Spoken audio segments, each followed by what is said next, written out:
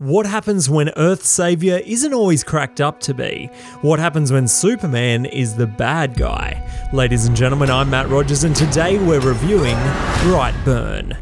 Now, I don't usually weigh in on cinematic movies, but Superman and horror movies are my specialty, so I just couldn't resist. I'm going to try and keep spoilers to a minimum, but I will be touching on a few main plot points. Now, Brightburn is the classic story of Superman, parents hoping for a child who are gifted with one from the heavens, who is himself gifted with powers which inevitably outcast him from the other kids. But that's where Brightburn departs the hero's tale and takes a dark turn.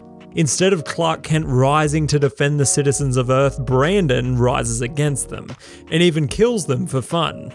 I actually loved the parallels director David Yarovesky drew to this and 2013's Man of Steel, which wasn't the best Superman movie, but I must admit I did get excited seeing the almost identical shots of the farm used in both films.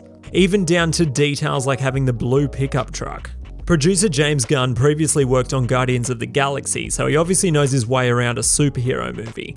But I'm a massive horror fan and an even bigger Superman fan, so I can say my expectations were unreasonably high. But I can say it did not disappoint. The movie literally opens with Brandon's arrival to Earth, so it doesn't mess around with getting to the plot, which I had a problem with at first as we don't really know the first thing about these people.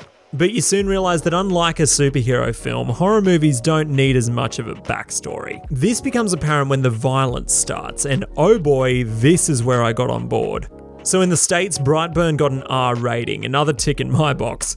It definitely deserves it in the gore department. Without ruining what specifically happens, let's just say Brandon doesn't like being minorly inconvenienced, as what he inflicts on the residents of this far-flung town is ungodly. We're talking Mortal Kombat type shit. I always hate when movies cut away at the grossest moments and leave it to your imagination, but there's none of that here. You see it all. These murderous acts, all whilst Brandon wears this horrific mask, which in my opinion instantly became an iconic horror costume.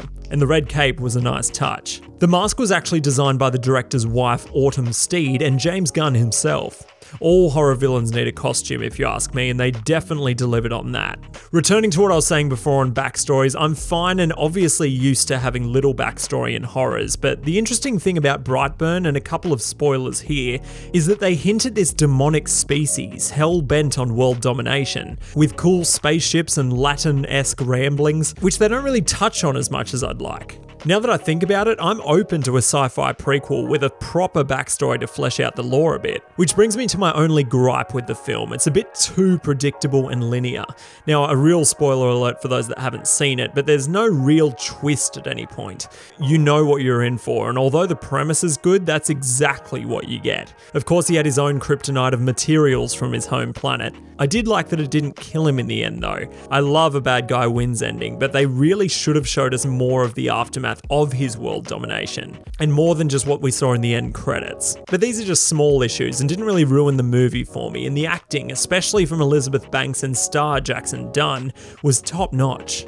In fact, in the good horror drought we've had this year, Brightburn was a bloodthirsty breath of fresh air. Seriously though, what is with the horror movies so far this year? Absolutely terrible. Anyway, if you love hero movies and love a good slasher, Brightburn is for you, but don't expect any surprises. But if you've seen it already, be sure to let me know what you thought in the comments. But until next time, this is Matt Rogers, and that is all.